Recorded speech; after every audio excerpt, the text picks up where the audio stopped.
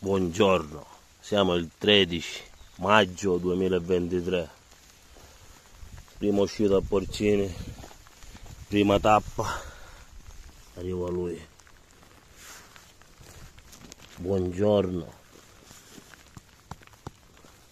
Spettacolo ragazzi, spettacolo. Buona giornata a tutti.